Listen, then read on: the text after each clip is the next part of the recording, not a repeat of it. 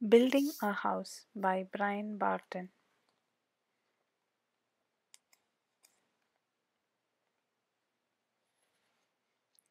On a green hill, a machine digs a big hole. Builders hammer and saw.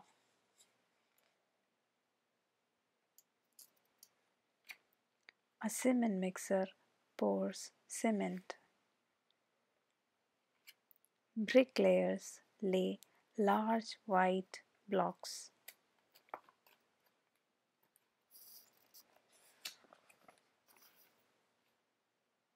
Carpenters come and make a wooden floor. They put up walls. They build a roof. A bricklayer builds a fireplace and a chimney too. A plumber puts in pipes for water. An electrician wires for electric lights.